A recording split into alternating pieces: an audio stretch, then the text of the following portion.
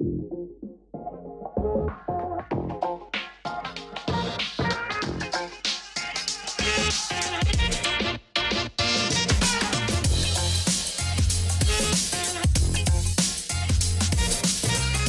hello, everyone. This is your host, Akeel Jabbar, and welcome back to another episode of SaaS District.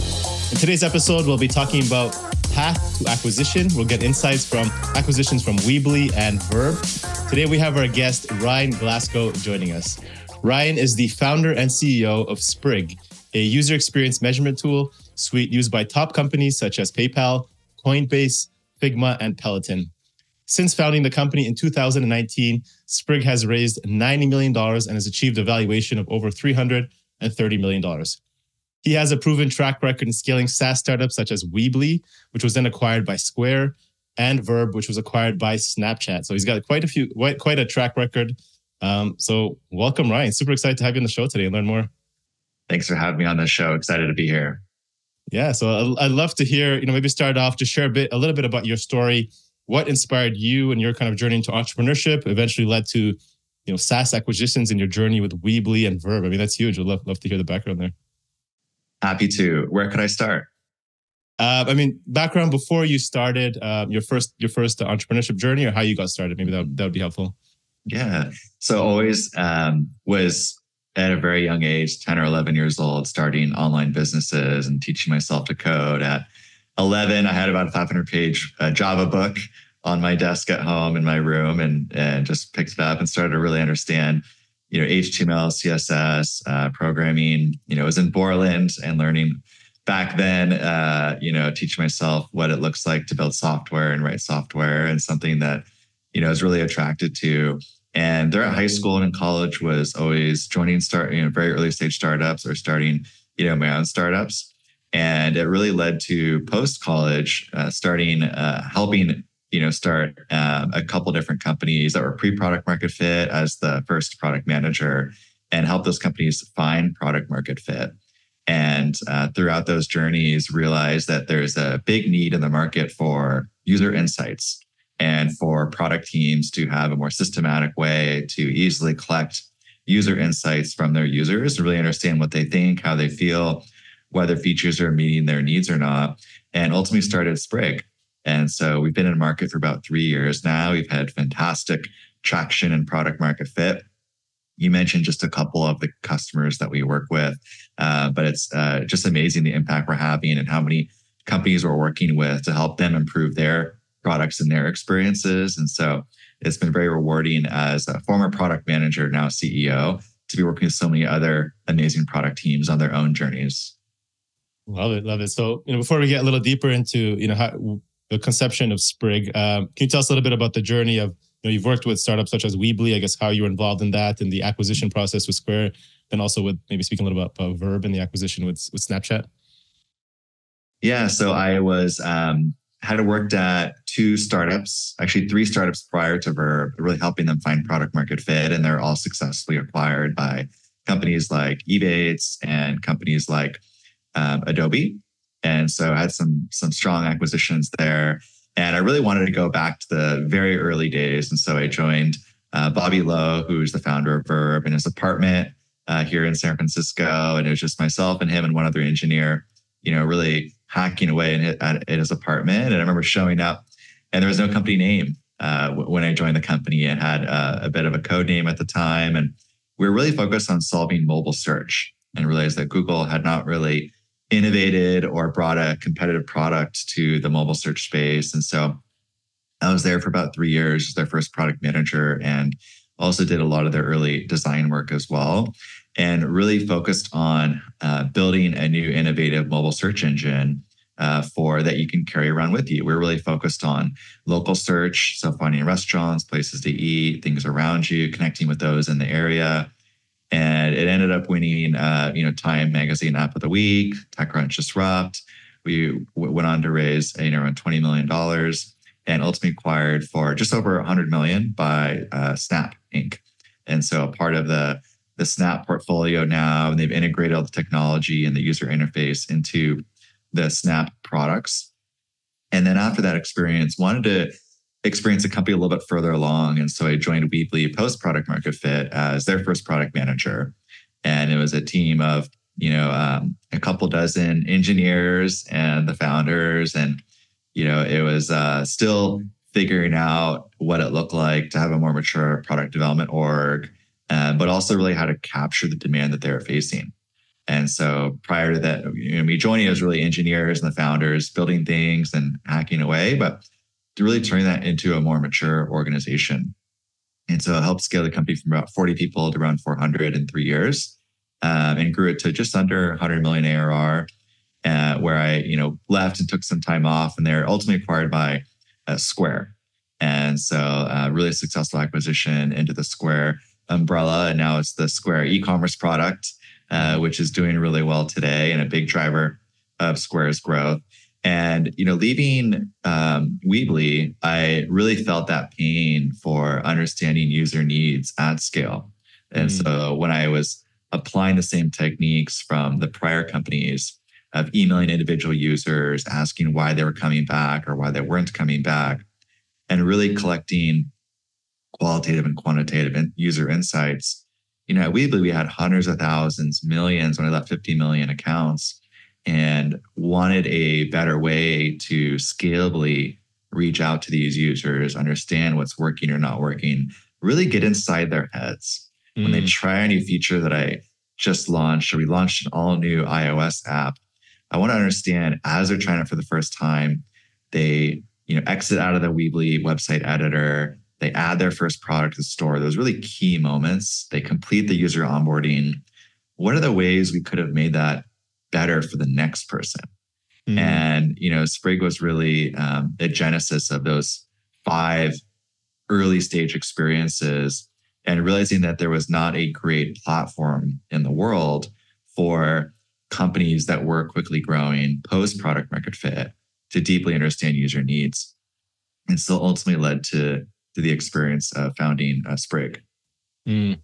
So it seems like you know you you've noticed this kind of uh, market demand just by through your your work and your experience of working at Weebly, and from that kind of spread the idea that look we can improve on this, and there wasn't anything out there that was already you know offering this, or there wasn't anything in the market that was strong enough. What are you guys typically using? What did you start off, and what are you using now to really get into the user's mind? Is it is it forms? Is it you know how how do you get the real insights and not just you know what people want me want to hear what they think um, versus what mm-hmm. is actually what's best for the company right? Because sometimes you know you can do nps surveys you can there's all, all kinds of things you can do. Um curious to know what's what what you find works best you know maybe at the beginning and what you find is working well today now that you're valued at you know over 300 300 million dollars. One of the at the highest level i'd say one of the key innovations that we brought to market is that if you think about a revenue the revenue for a company or a top line revenue, you know, gross revenue, it is directionally helpful to understand how a company is performing. But what's really helpful is the full balance sheet.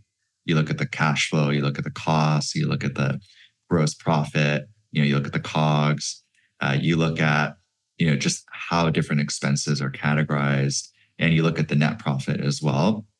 And that full balance sheet really gives you the full health of how a company is performing, just because the top line gross revenue is up and the right, it doesn't necessarily mean it's a healthy business that's performing at a high level. And with user experience, we are all relying on NPS. And mm-hmm. NPS was a top line metric uh, that was very focused on overall how a company was doing. But as product teams working on specific features or specific parts of product areas, it's really critical that we do have that full balance sheet for our own user experience and mm-hmm. understanding the customer journey. Let's look at people that are considering our product or onboarding with our product, or people that are newer in their journey with our product, or people that are considering leaving and no longer using our product. Let's also look at all the people actively using our product and break it out into separate product areas and look at, you know, feature A, feature B, feature C, feature D. And with Sprig, we really approach it from first principles of how can we build a full balance sheet for uh, product teams and help them deeply understand all the different parts of their product experience and deeply understand which areas are resonating and working for users. But more importantly, which areas are not resonating or not working, and what are those gaps to strengthen those experiences so that overall we have a healthy, successful product experience that is meeting user needs. And so there's a couple technologies that we are first to market to really accomplish this. The first one is a user targeting system. Mm-hmm. And we just were awarded the uh, patent, a US patent on uh, user targeting for in product surveys. So it's something that you know is exclusive to Sprig, where you can choose based on user attributes or user events, which users, based on their actions or attributes, receive a given in product survey. And the second one is a scalable way to understand all the data that you're collecting. Uh, when I was at Weebly in, in one month, we collected over 60,000 NPS responses. Mm-hmm. And you can imagine that all that data went to waste because we didn't have anybody to be able to analyze and review and cate- categorize 60,000 NPS responses. We hear this all the time from companies that come to us. Mm-hmm. And so at, at Sprig, the first person to join me at the company is Kevin Mandich, head of AI. And since 2019, we've been working on uh, AI that can group open text data and analyze survey data and group it and really provide recommendations based on that data to these product teams. And so those two you know, innovations brought to market, the user targeting system to get very specific on asking those specific questions to specific users. And then also, also that uh, the artificial intelligence uh, that we pioneered to understand this data at a larger scale and more most importantly deliver specific recommendations to product teams about this part of your product is not meeting user needs or this part of your product is exceeding user needs and it really mm-hmm. helps them give incredible clarity into where they can focus their efforts Love it. So I, I, love that analogy, right? Using the the cash flow or balance sheet analysis that you know people uh, analogy that people use for for their financial statements and, and for the, how their company is doing as as a whole um, but they're using that for the user experience itself. So it's I love that. And then you know from an NPS perspective, what have you found? You know any difference in you know uh, format of fo- folks who come in who are using NPS surveys and, and getting feedback, and then you're able to analyze it and, and provide you said recommendations.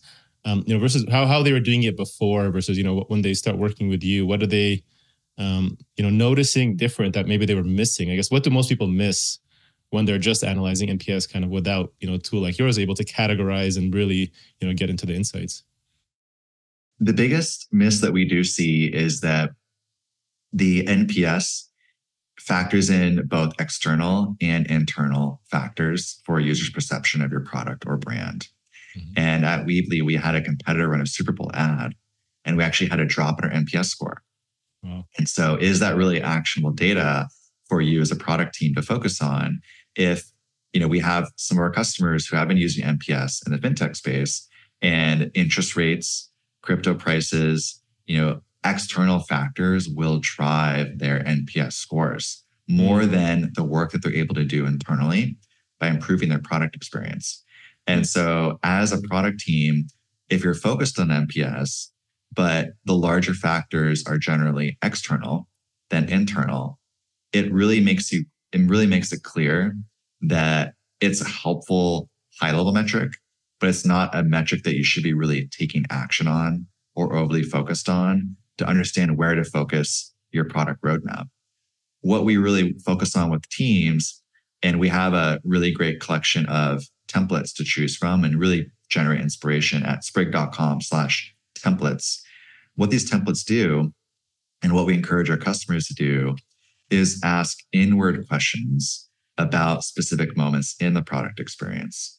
And so, as someone adds their first product to an online store, or maybe their fifth product to an online store, ask about how that experience was adding a product to their online store for that merchant and really hearing from them in that moment you know what was confusing what worked well were there any features or capabilities that they were looking for and that's an example of really getting insights for what you can control. If something, if the interface is confusing or it's missing the option to generate SKUs for that product in the way that you're looking to generate SKUs for your product offering, then it's something that you can put on your roadmap. And it's something that you can measure over a longitudinal period of time. And you can look at how is our experience of creating new products for the online store how has it changed from this quarter until last last quarter or the prior quarter before that? Have we gone from a three out of five to a four out of five? Or have we gone from a three out of five to a 2.5 out of five? Mm. And that's really going to help drive and inform where we focus our product development efforts by asking these very targeted questions about our product experience and not necessarily whether we would recommend the brand or not, because that's where you start to get into global geopolitical competitive factors that are often outside of our control.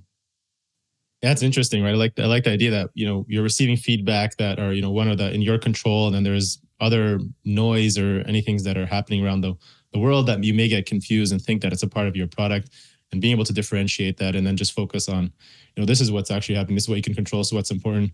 All the stuff that's happening with your competitors in the market, you know, this is, this is it, but you know, you can't control that, right? So here, focus on these things. And then, you know, helps you understand what's really happening here. And you're not focused on that one number that's dropped um, and, you know, what's actually you need to focus on.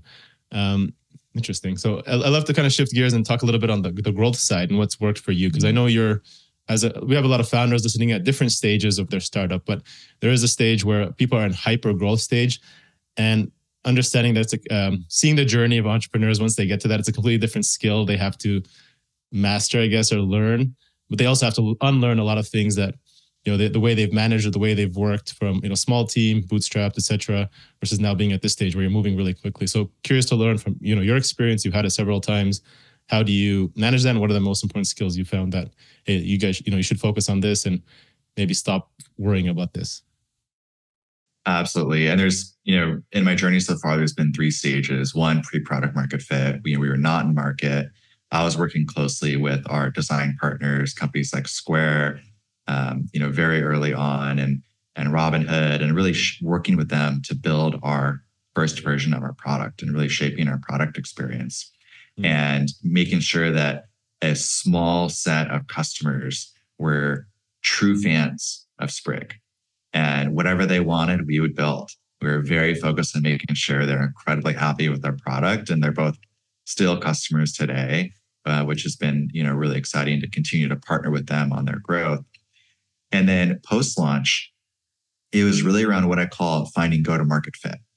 And so a lot of companies think that, and founders think that as soon as you achieve product market fit, you know, you're just growing and everything's great and you build it and they will come. But we often realize that we are increasingly in a competitive world. It is easier to, you know, launch new startups every year and build new products and bring new products to market. And you will have competition, whether it's now or in the future. And it's how do you distribute your product? And so as a founder, you have to get from product market fit, uh, pre-product market fit to post-product market fit. And then you almost have this whole separate journey of pre go to market fit to post go to market fit um, and really figuring out what is how does your buyer want to learn about, consider, evaluate, and procure your product, and really understanding how maybe someone is selling to a sales leader, to selling to an HR leader, to selling to an engineering leader, to selling to a VP or C level down to an end user. Mm. Uh, they're all very, very different go to market motions and really understanding your product and that journey and really working backwards from how that individual that both that level both that role that function how decisions are made for procuring new software um, and so that's been a journey you know that i think requires you know a, a, it's pretty steep learning curve i think for the founders like myself with a, a product background um, and something that is incredibly important to focus on and realize that for post product market fit companies the difference between those that get to you know get really stuck at 5 or 10 million ARR and those that get to 100 million plus ARR are the founders that can really learn and master that go to market motion i think the third phase is post go to market fit is really scaling that go to market engine and so you figured out go to market fit. You figured out how your buyer wants to learn, evaluate, consider, and purchase new software. You now need to build an engine that can predictably, reliably, consistently scale quarter over quarter. And so, what is the process and playbook from both a distribution and awareness perspective with your marketing team, but also the sales process for the evaluation and purchase of the software, where every quarter you can consistently grow at, you know, X percent. Um, and so that's really that third phase that, you know, often requires a whole different mentality around mm-hmm. processes, playbooks, repeatability, and really thinking about how you can find that next lead, find that next qualified opportunity, hire that next salesperson, hire that next SDR, and have that consistent, efficient growth uh, going forward. Love it. And and can you just share quickly? You know, what's what's have you found to be you know working best at this stage? You know, you've, you've uh, you know kind of narrowed down your go to market strategy, and now you're looking into that predictable motion. That hey, if we continue doing this, we will reach X. Have you found anything that's worked, or even you know what hasn't worked? You can share, or maybe failed experiments. We have seen in the period of uh, where capital was cheaper, you know, they're certainly easier to grow very quickly. Um, I think, you know, in the period that we're in right now, it is critical to look at techniques and go to market, you know, programs that are scalable.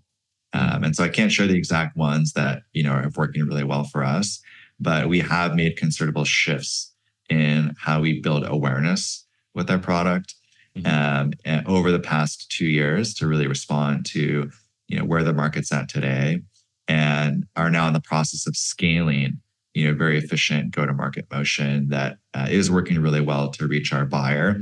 That's efficient and um, growing efficiently and fast, and really checking both of those boxes is critical in the economy that we're in for the foreseeable future.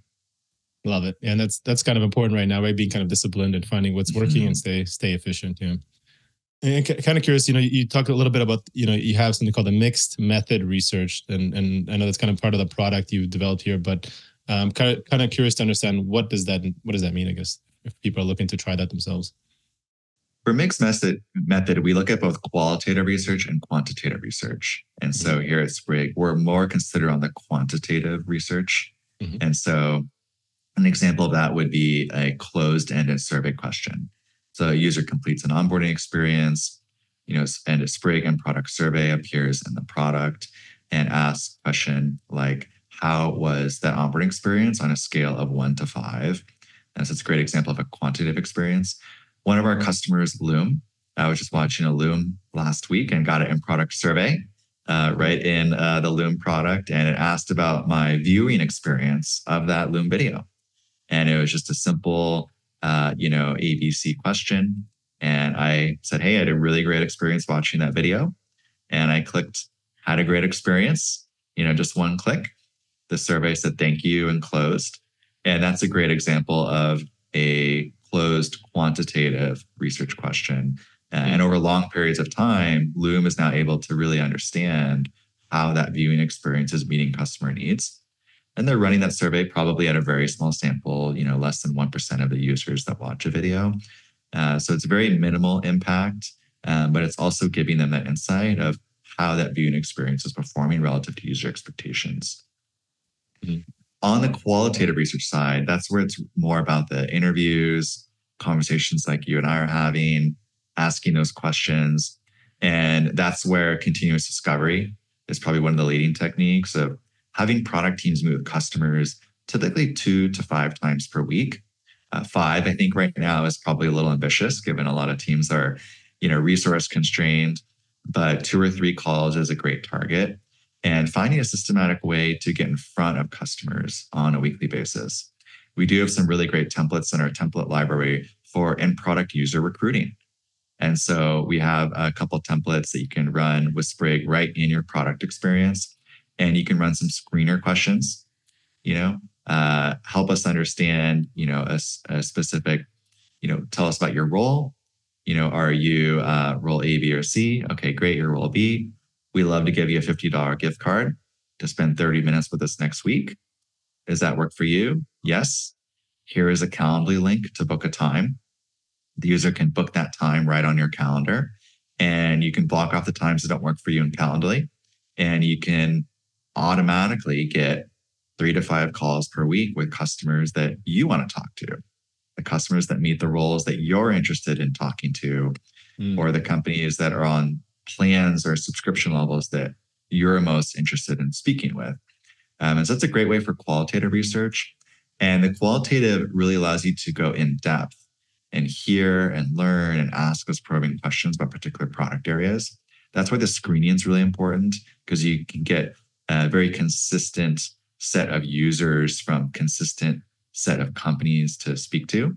Mm-hmm. Uh, but the quantitative is helpful as well because you do very similar to you know KPIs and metrics. You need to understand your full balance sheet. So how is your entire product and all the components of your product meeting user needs? And that's where quantitative research is really powerful. Quantitative research really guides where you should investigate on a qualitative level and where mm-hmm. you need to really go deeper and better understand what's not working with that product experience. And mm. so that's why you have the breadth of quantitative that's incredibly powerful to monitor and understand for long periods of time, and then qualitative to go deep and deeply understand user needs and then really help shape how to strengthen or level up those particular product areas. Love it. Yeah, that makes sense. And then on the qualitative side, so I mean, you're having these user interviews, you're getting deep into these conversations to understand their their pain points, what's working, how you can improve your product, and you'll give them a little bit of incentive to to jump on a call and give you some time. How often do you suggest that teams do this? Um, you said you know you mentioned two to three a week, and you know is this the product team, customer experience team, and are they talking to the same folks? I mean, just curious to know your your process, what you recommend to people to to use. For companies that are later stage that have a researcher, we recommend the researcher pairing with a product manager or product designer, and we'd love to also see engineers there if possible. Mm-hmm. Um, it, you know, and usually one or two people joining a researcher. If the company has researchers, but for companies that don't have researchers, usually at companies less than you know three to five hundred people, then absolutely it's the product manager who's going to be joining, and it's usually best practice if she's able to record it and then share those videos internally with product designers, engineers, other people at the organization. And the goal with both of those is to socialize the learnings for everybody involved in that product area. And so we have a team right now dedicated to artificial intelligence and any customer insights we can gather, whether it's quantitative insights with Sprig or it's more qualitative in person insights you know, through conversation, we want those insights to be available to everybody on that AI squad. So we can get the engineers, the designers, and everyone involved in helping really ideate and come to the table with solutions and ideas and work together as a team and realize that product creation and ideation is not just for product management and product design, but it is responsibility for everybody on that cross-functional squad to be thinking through how they can level up that particular product experience. Mm. And you know, you spoke about AI, so I'll just kind of wrap up this part of the the interview, and and uh, what we talk about is understanding how are you guys? I know you guys using AI right now. You're incorporating into your products. Um, you know, the, with ch- things moving so quickly. Um, you know, do you have any strategies you're doing to kind of keep up to date and influence the approach of how you guys are incorporating AI and, and developing it in the innovation side over time? It's really exciting that you know we were one of the pioneers in the survey category for open text analysis and grouping open-ended responses into themes if there's no overlapping words or phrases. And introducing that, like I mentioned, 2019 is something that really helped differentiate Sprig in the market. And as AI models have advanced over the past 12 to 18, 24 months, we have, there's so many different things that we've wanted to do, but the technology was not ready.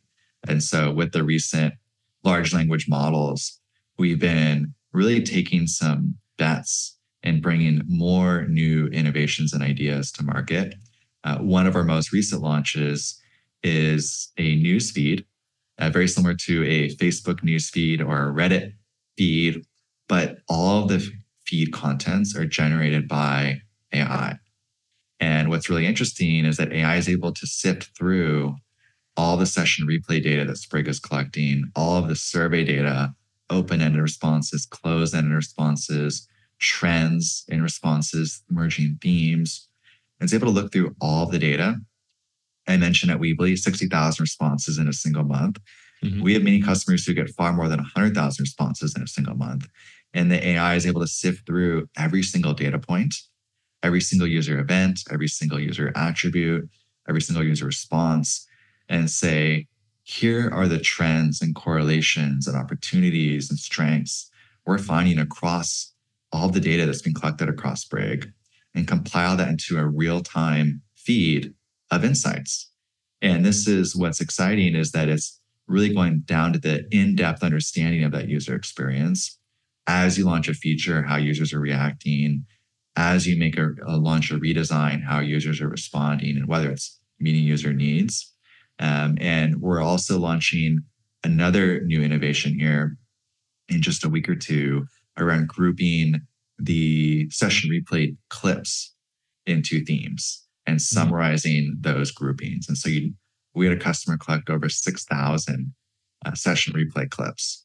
And you can imagine the time, I won't even try to do the math, how long it would take to watch all those. But with, we figured out with uh, open, with, uh, you know, these large language models, how to analyze and review all of those clips and say, out of all these 6,000 clips, here are the 18 themes from the user behavior that we've identified.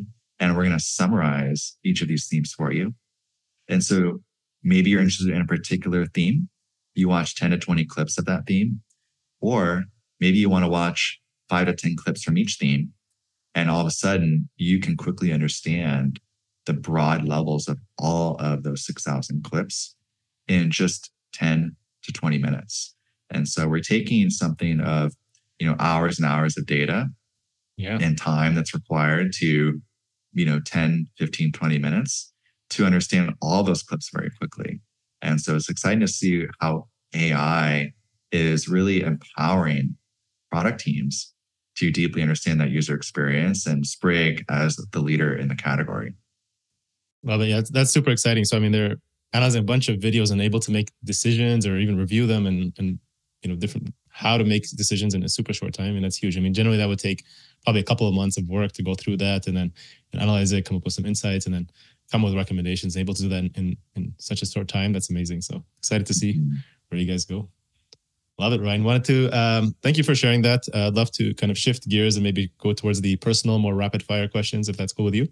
Of course yeah all right awesome let's do it ryan what's uh what's one activity you enjoy outside of work that gets you into a flow state? That's a great question. And I think, you know, I've realized in my life as I take on more professional stress, mm-hmm. you have to find personal activities that are more consuming mm-hmm. of all of your senses and really more consuming of your full attention. Because if you don't have activities that can really match what you might be thinking about mm. or what you might be processing, I'm always thinking about Sprig. Sprig for me is 24 7, every day, every waking hour. But it's also not sustainable. You do need to take some breaks and think about something else and have your full attention elsewhere at some moments of the week. And so the two activities for me, other than spending time with my family, which absolutely will capture my full undivided attention, um, but the two activities uh, outside of spending time with my wife and my daughter. Uh, one is fly fishing. And mm. so very, very, uh, it's absolutely incredible at capturing my full attention, you know, hiking waist deep in the middle of a stream, you know, casting out to fish that are, you know, 10 feet in front of you. Uh, it's a very active activity that requires my full attention. And the second one is that I recently picked up, which is golf. And it also it's very focused on you know the full it captures my full attention. You're outdoors you're typically with friends or family and it's something that to hit it a great shot you re, you cannot be thinking about work even no, if exactly. i wanted to. So, just you and the ball make sure you hit it and it, or you and the it, fish right?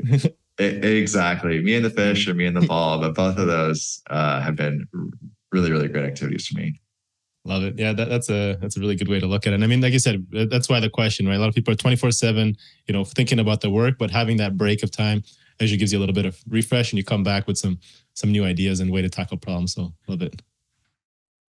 Yeah. Awesome. Ryan, what's uh, one piece of advice you wish you had known, and if you can go back, you would tell your, let's say, your twenty year old self, or twenty five year old, let's say. Yeah. yeah you know, I think the thing that it's probably folks probably know this, but it's something that you will learn, you know, throughout your career is that things always take longer than you think. And mm-hmm. so I think really the patience, and I think there's good impatience, but there's also impatience that can be detrimental. Mm. And so, you know, if your detrimental impatience might be, you know, pivoting too quickly. And I see some startups that shut down and they're pivoting every two months when it's clear you'll see other companies with some of those same concepts actually stay focused and hmm. patient mm. and you'll see them eventually take off and you know i think in the experience that i've had in my career of finding product market fit it often takes longer than you think mm. and if you pivot bef- while you're making progress but maybe before you're able to really achieve product market fit then you start back at you know where you started which is zero um, and you might have actually been down a path that you know could have been one that was the right path. And so i think that's one thing that's one example of detrimental impatience but i think other examples might be if you're at a company um, that you know perhaps is going through some twists and turns on the other side you're most likely going to be rewarded for that patience and seen through that experience mm. and one company that um, you know as a CEO of a $20 billion company, and he was sharing that his pet peeve is folks that don't stick out the tough moments in building that company. And the ones that maybe stay for six months or a year or 18 months and say, hey, you know, this company's going through a rough patch. I'm going to quit. And he realized that they, when he looked to hire people with those short tenures who left because of a company going through, you know, maybe a challenging moment, is that they didn't really they weren't able to get the learnings from those moments. Mm-hmm. And if you mm-hmm. only experience the highs of a company, it's not really a moment that's going to be transformative for your career. But if you experience and help a company go through a low or maybe pivot or a change in direction, that's really the transformational learning experience. And so he often looked for folks that had those experiences and hired people who had that resilience who had those learning moments that were then incredibly valuable for building, you know, his $20 billion company. And so I think that's, you know, I think for the, the, you know, generation in their 20s right now, um, the patience, seeing things through, being disciplined, being resilient is not only a benefit for the company that's going to, you know, have your experience and helping you get to where they need to go, but also you're going to get so much more out of that experience than a company where you show up and the company is going to be growing, you know, up into the right, regardless if you're there or not. Mm, I love it. Yeah, being resilient, I guess, you know, finding for anybody who can go through that or handle that's such an underrated skill. I agree. Um, Ryan, what are some of the biggest challenges you're currently facing in order to continue to grow and scale Sprig? Meaning, you know, what's keeping you up at night these days, if if anything? For us as a venture-backed company, backed by the best, Accel, Andreessen Horowitz, First Round Capital, I'm always focused on growth. And, you know, how can we be, you know, the best company in their portfolios? I'm competitive. I want to beat the competition, but I also want to be number one, you know, company for our investors and deliver, you know, incredible shareholder returns, not only for the employees here at Sprig as shareholders, but also for our investors as shareholders and doing everything I can to, you know, really maximize uh, their returns. And so for us in that hyper growth phase of go to market, it's thinking about we have a core go to market market engine that's working really well, it's scaling efficiently. And we're also looking for additional programs to layer on. What's going to be the next, you know, phase of growth? How can we layer on that next um, kick into even another gear of mm-hmm. growth? And so that's where we're really focused. And what that I'm focused on is you know, spending time with our sales and marketing teams and thinking about what we can do uh, for that additional layer of growth. Yeah. Continue to grow. It's uh, the only way. Yeah. Uh, Ryan, what, who or what are some of the best three resources? They can be books, mentors, or people you follow in the space. Could be investors who you'd say have been the most instrumental to your success over these these last three years or four years now. I'll give two authors that have been incredibly impactful in my journey building Sprig. One of them is at the high level of purpose, mission, values of company building and how to build an iconic, sustainable company over a 100 year period. And the author is Jim Collins. So he's known for his book, Good to Great. Mm-hmm. I know a lot of folks maybe have read that when it came out, I think 15, 20 years ago, but one I would recommend dusting off or picking up a copy and reading through Good to Great. He also has a whole series, though, on uh, one example is Beyond Entrepreneurship 2.0. Mm-hmm.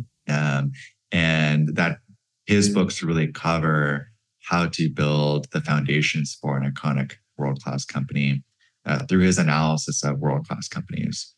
The second one's more tactical.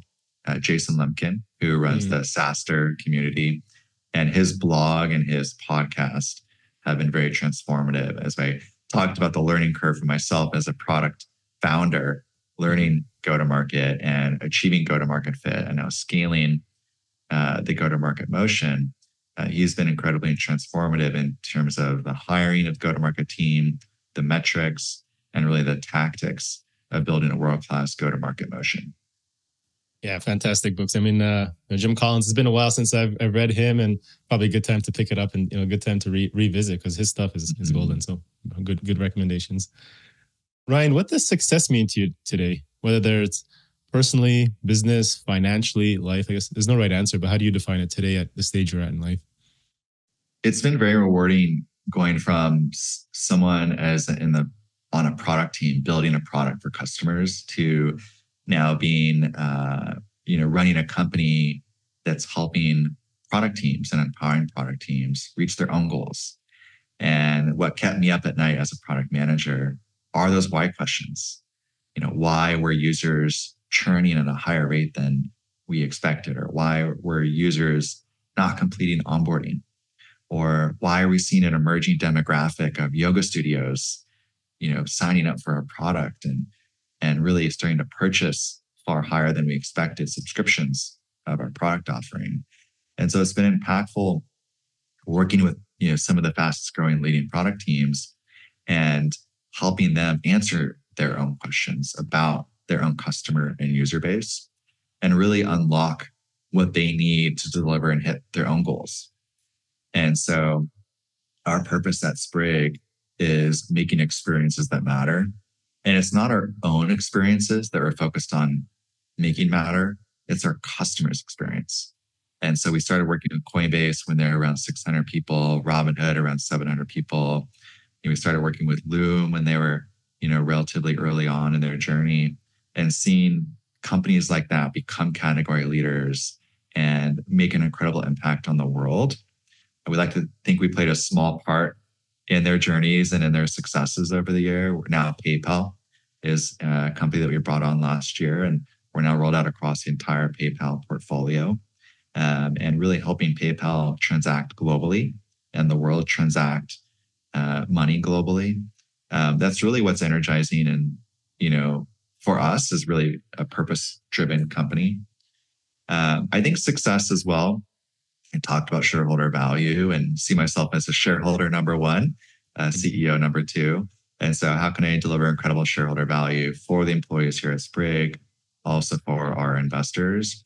Uh, I want Sprig to be a transformative experience for people at the company and for investors, not only in the impact that we're having, but also in terms of the financial return on their time or uh, financial investments.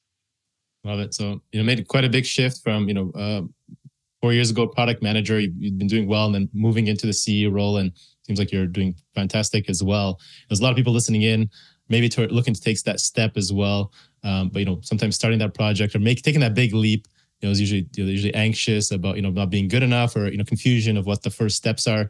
Any kind of final, uh, final advice for them to take that leap and hopefully follow your your steps the I, I, can't say I've, I have good news here. It's more difficult. It's more difficult than you think, and it takes longer than you think. And that's part of the the patience that I was stressing, you know, earlier in our conversation. And you know, going back to Jason Lemkin, who you know I've learned a lot from. He said it takes a minimum of two years to see for a single product idea in SaaS whether you're onto something or not. And so, talking about that detrimental impatience, can you set aside the next two years uh, to try out a SaaS idea You know, mm-hmm. to see if you built something that's worth pursuing, it takes 24 months. And so, do you have the patience financially, your significant other, your friends and family, uh, in your career, the opportunity cost of your career?